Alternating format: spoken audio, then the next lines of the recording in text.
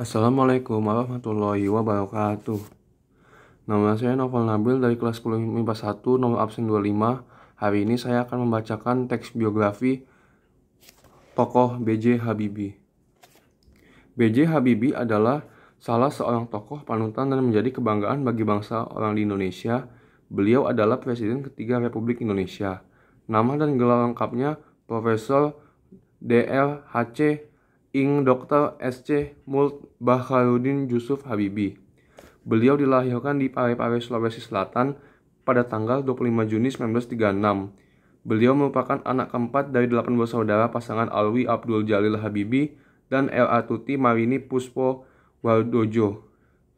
Habibie menikah dengan Hasri Ainun Habibie pada tanggal 12 Mei 1962 dan dikaruniai dua orang putra yaitu Ilham Akbar dan Tarik Kemal. Habibie menjadi yatim sejak kematian bapaknya yang meninggal dunia pada 3 September 1950 karena terkena serangan jantung. Setelah ayahnya meninggal, ibunya menjual rumah dan kendaraannya, kemudian pindah ke Bandung bersama anak-anaknya. Ibunya membanting tulang membiayai kehidupan anak-anaknya. Masa kecil Habibie dilalui bersama saudara-saudaranya di Parepare, Sulawesi Selatan. Sifat tegas dan selalu memegang prinsip yang diyakini telah ditunjuk Habibie sejak anak-anak. Habibie yang punya kegemaran Nunggang kuda dan memanca ini dikenal dengan cerdas sejak masih duduk di bangku sekolah dasar. Habibie kemudian menuntut ilmu di Government's Middlebury School. Di SMA kecerdasan beliau dan prestasinya tampak menonjol. Terutama dalam pelajaran-pelajaran eksakta, Habibie menjadi sosok favorit di sekolahnya. Atas kecerdasannya, setelah tamat SMA di Bandung tahun 1994, beliau masuk ke ITB. Namun, ia tidak menyelesaikan S1-nya di sana karena mendapatkan beasiswa dari Menteri Pendidikan dan Kebudayaan untuk melanjutkan kuliahnya di Jerman. Habibie terinspirasi pesan Bung Karno tentang pentingnya dirgantara dan penerbangan bagi Indonesia. Oleh karena itu, ia memilih jurusan teknik penerbangan dengan spesialisasi konstruksi pesawat terbang di Rhein-West-Laven Asen Technische Hochschule atau RWTH. Demi ibunya, yang telah bersusah payah membiayai hidup dan pendidikannya, Habibie belajar dengan sungguh-sungguh. Tekadnya harus jadi orang sukses.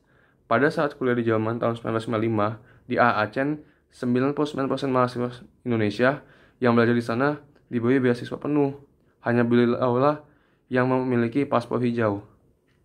Ketika muslim libur tiba, ia menggunakan waktunya untuk mengikuti ujian dan bekerja. Sehabis masa libur, ia kembali fokus belajar. Gaya hidupnya ini sangat berbeda dibandingkan teman-temannya yang memilih menggunakan waktu liburan musim panas untuk bekerja, mencari pengalaman tanpa mengikuti ujian. Tahun 1960, Habibie berhasil mendapat gelar diploma Ing dari Technische Hochschule, Jerman dengan predikat cum laude atau sempurna dengan nilai rata-rata 9,5. Dengan gelar insinyurnya itu, Habibie mendaftar diri untuk bekerja di firma Talbot, sebuah industri kereta api di Jerman. Pada saat itu, film Talbot membutuhkan sebuah wagon yang bervolume besar untuk mengangkut barang-barang yang ringan tapi volumenya besar. Talbot membutuhkan seribu wagon. Mendapat tantangan seperti itu, Habibie mencoba mengaplikasikan cara-cara konstruksi membuat sayap pesawat terbang. Metode itu ia terapkan pada wagon dan akhirnya berhasil. Habibie kemudian melanjutkan studinya di Technische Hochschule die Fakultät für Maschinenwesen Assen. Habibie menikah dengan Hasri Ainun Habibie yang kemudian diboyongkan ke Jerman. Hidupnya makin keras. Pada pagi hari, Habibie terkadang harus berjalan kaki cepat ke tempat kerjanya yang jauh untuk menghemat biaya hidup. Ia pulang pada malam hari dan belajar untuk kuliahnya. Demi menghemat, istrinya harus mengantri di tempat pencucian umum untuk mencuci. Pada tahun 1965, Habibie mendapatkan gelar Dokter Ingenieur dengan penilaian summa cum laude dengan nilai rata-rata 10 dari Technische Hochschule die Fakultät für Maschinenwesen Assen. Habibie mendapatkan gelar doktor setelah menemukan rumus yang ia namai faktor Habibie karena bisa menghitung keretakan atau crack propagation on random sampai ke atom-atom pesawat terbang. Habibie dijuluki sebagai Mr. Crack. Pada tahun 1967, Habibie menjadi profesor kehormatan atau guru besar pada Institut Teknologi Bandung. Kejeniusan dan prestasi mengatakan Habibie diakui lembaga internasional, di antaranya Gesellschaft für Luft- und Raumfahrt, lembaga penerbangan dan angkasa luar Jerman. The Royal Aeronautical Society London, Inggris. The Royal Swedish Academy of Engineering Science, Swedia. The Académie Nationale de l'Air et de l'Espace, Prancis. Dan the US Academy of Engineering, Amerika Serikat. Penghargaan bergengsi yang pernah diraih Habibie adalah Edward Warner Award dan Award von Karman yang hampir setengah dengan hadiah Nobel. Di dalam negeri, Habibie mendapatkan penghargaan tertinggi di Institut Teknologi Bandung, Ganesha Praja Manggala Bakti Kencana.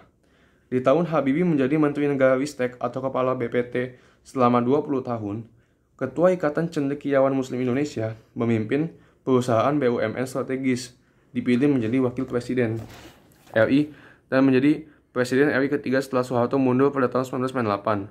Pada masa jabatan Habibie, terjadi referendum di Timur Timur, sampai akhirnya Timur Timur memisahkan diri dari Indonesia. Dalam masa jabatannya yang singkat, B.J. Habibie telah meletakkan dasar bagi kehidupan demokrasi dan persatuan wilayah di Indonesia dengan disahkannya undang-undang tentang otonomi daerah dan undang-undang tentang partai politik UU, tentang pemilu dan UU tentang susunan kedudukan DPR atau MPR. Turun dari jabatannya sebagai presiden, Habibie kembali ke Jerman bersama keluarga. Pada tahun 2010, Aidun meninggal karena kanker. Sebagai terapi atas kehilangan orang yang dicintai, Habibie membuat tulisan tentang kisah kasih dengan Ainun yang kemudian dibukukan dengan judul Ainun dan Habibie. Buku ini telah difilmkan dengan judul yang sama. Sekian itu teks biografi yang saya bacakan. Mohon maaf bila ada kesalahan, saya akhiri. Bilahi taufik walidaya. Wassalamualaikum warahmatullahi wabarakatuh.